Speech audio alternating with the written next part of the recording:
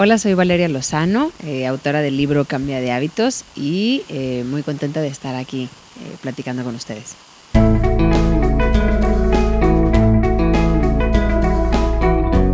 Como licenciada en administración, pues bueno, no nació de ahí la idea. realmente esa fue la carrera que estudié porque pues obviamente tenía, yo creo que esta idea que todos tenemos, ¿no? De trabajar en una empresa y ir subiendo, ya sabes, este, en el puesto, etcétera aun cuando no era lo que me gustaba realmente. Eh, tampoco voy a decir que me gustaba la nutrición porque no, no, no, es como tal la nutrición, sino que realmente me gusta el salud y, o sea, la salud y el bienestar como, como tal. Y pues bueno, eh, la verdad es que la carrera de administración fue antes, eh, estudié la maestría en innovación y todo, siempre me ha gustado este proceso de, de innovar. Y, y, bueno, pues la salud siempre ha sido una un tema en mi vida, pero por algo personal. Siempre estuve como que buscando nuevo tipo de alimentación, eh, cómo estar mejor, cómo sentirme mejor, etc. Y bueno, pues en el camino aprendí de todo, eh, hice de todo, eh, traté de todo. Y, pues bueno, por eso llega como solución el de cambio de hábitos, porque realmente pues no hubo de otra, tenía que cambiar de hábitos para poder estar saludable. No había camino fácil, no había dieta, no había pastillas, no había nada más que, más que realmente cambiar de hábitos. Y, de eso se trató, ¿no? Eh, realmente cómo nace todo, eh, nace por la necesidad de compartir. Eh, nunca me hubiera imaginado ni la página, ni los programas, ni el libro, de verdad, ni siquiera me imaginé estar aquí en la FIL, estar conociendo a tanta gente tan interesante y mm, cada día es una sorpresa nueva, o sea, todo con hábitos ha sido una sorpresa. no creas que de repente lo puse y fue un éxito, sino que ya tenía mucho tiempo haciéndose como programas de alimentación o consultas o cosas así, pero nunca le, le atinaba realmente. Eh, porque nunca tuve realmente el objetivo de, compartir, siempre lo vi como un negocio. En el momento cuando realmente dije, bueno, ya, eh, lo suelto y, esto ya es como, pues compartir realmente por el puro placer, empezó a salir todo esto. Entonces trato de cultivar mucho esta parte de, que sea de que tenga su parte eh, de compartir salud realmente. Viene la parte obviamente de, de, tener los programas, del libro, este, ahora va a lanzarse una certificación para que haya coaches en hábitos, etcétera. Y, bueno, la, idea de todo esto es eh, que más personas sepan esta información, que llegue a más personas esta información. Y entonces en ese momento se vuelve hábitos lo que ahora es, ¿no? Es como un movimiento muy fuerte de, de cambio eh, en habla hispana y, y, estoy muy contenta de, de, que me haya tocado a mí, porque siento que me tocó. No, no, no me doy el crédito de haberlo creado, porque te digo que yo no sé cómo se va dando, pero va creciendo, va avanzando eh, y, me encanta, ¿no? Entonces, eh, en ese momento decía, qué raro que estudié administración de empresas, si el caso, pero ahorita que lo veo, me da toda la capacidad de poder administrar la empresa, de poder llevarla, eh, la parte de innovación, de poder innovar en esta parte de hacerlo sencillo para las personas, de dar herramientas. Entonces, todo se ha ido integrando y y pues me encanta porque eh, me queda muy claro que, cuando uno hace lo que le apasiona, pues sale y sale bien, pero nunca hay que perderse de esa línea, ¿no? De hacerlo por, por gusto y, no desviarte por, por otras partes, ¿no?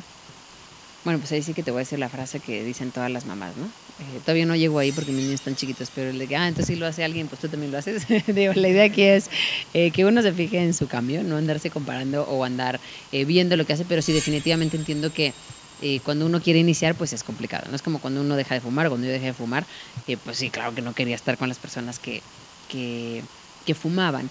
Pero eso lo hice muchas veces cuando intenté dejarlo. Eh, trataba de evitar las personas que fumaban. Y, no me funcionó, siempre regresaba y siempre pensaba que era por ellos. Pero cuando realmente tomé la responsabilidad de mi salud, y cuando hice un cambio de mentalidad ya no importaba quién estuviera, al contrario, prefería salir porque de esa manera era para mí eh, pues empoderarme ¿no? de mi decisión y no verlo complicado. Entonces ya cuando uno hace el cambio de mentalidad, puedes estar con personas que coman así o no así y al contrario, tú sirves de inspiración para ellos porque de repente como que dicen, ay, este, ay, bueno, entonces tú qué quieres y entonces empiezan a, eh, a ver otro tipo de opciones también. Yo creo que es todo es cuestión de enfoque. Claro, todo es cuestión de enfoque. Y entonces cuando, cuando dices, bueno, será difícil, yo creo que cuando uno tiene interés, nada es difícil. Por eso mi principal recomendación en el libro es que lo disfrutes, porque cuando disfrutamos algo lo hacemos muchas veces.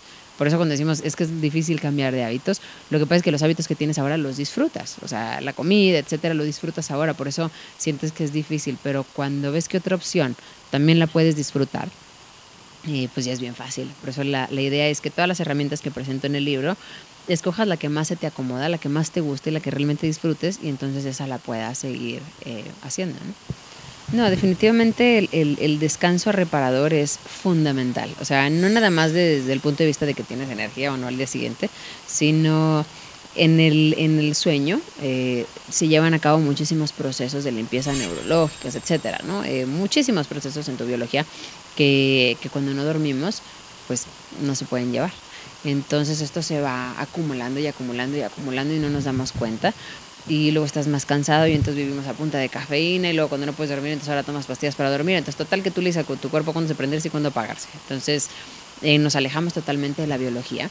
¿Y, y qué, cuál es la repercusión? Pues bueno, la vemos ahora con todas las enfermedades que hay, pero realmente es que somos una sociedad que se está alejando cada vez más de su biología, ¿no? Tanto en el sueño, en la comida, en los descansos, en la digestión, eh, en, en, hasta incluso en, en las evacuaciones, en la, ¿sabes? O sea, todo, todo, todo lo que tomamos en lugar de agua ya son refrescos, aguas de sabores este, eh, industriales, eh, los alimentos, todo, todo, todo, ¿no? O sea, cada vez nos alejamos más y mm, en el diseño natural está la salud. Por lo tanto, cada vez que más te alejes de, de, de, tu estado natural, pues te alejas de la salud y entonces empezamos a tener una alimentación artificial, una salud artificial y una vida artificial. Todo está como creado. Y, y, pues bueno, la propuesta en el libro es que te des cuenta de esto y empieces a, arreglar una que otra cosita. No digo que todo, no se vale tampoco volverte súper eh, ortodoxo y, y, y, exactamente, pero, pero bueno, se pueden ir incluyendo cosas poco a poco. Pues poniéndote las metas bajitas. Porque también cuando uno quiere, no, y aparte no poner de 10 mil cambios un día y mañana ya soy crudo y vegano, y, o sea, vamos, hay, hay, hay, hay pasos, ¿no? Y es poco a poco. La idea es que sea poco a poco, que se pueda ir avanzando, eh, que tú puedas ir incluyendo, pero que no quieras. Eh, yo creo que eso es lo que pasa muchísimas veces en, en los propósitos de año, ¿no? Te pones tantos pues vamos. Eh, pues sí, ándale. Aparte que se te olvidan, la complicas mucho.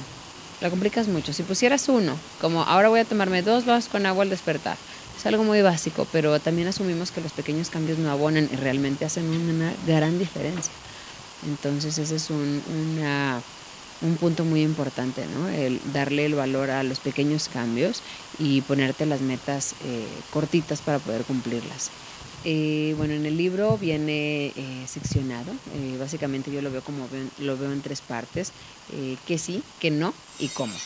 Eh, que sí y las razones del por qué sí, que no y las razones del por qué no y cómo hacerlo. Viene un programa eh, para cambiar de hábitos, vienen todos los hábitos ya dentro del programa y cuando desgloso cada uno de los hábitos viene con su sustento científico del por qué hacerlo, no nada más porque yo lo dije, sino tiene todo un, un sustento para que comenzamos mucho al intelecto y, y, y, también funcione como efecto placebo, pero además de que realmente son investigaciones y están respaldadas y, y obviamente trae recetas eh, para que tú escojas, porque hay sencillas, elaboradas, caras, baratas, lo que tú quieras, porque la salud realmente es para todos y todo depende de eh, de tu presupuesto, de tu calidad de vida, de tu estilo de vida y de tus requerimientos, ¿no? Eh, al final viene un anexo que se llama un comienzo saludable, que viene muy enfocado desde la salud en el embarazo, del parto, de, cuando son niños, de, cómo hacer este, este enfoque con los niños para los hábitos, porque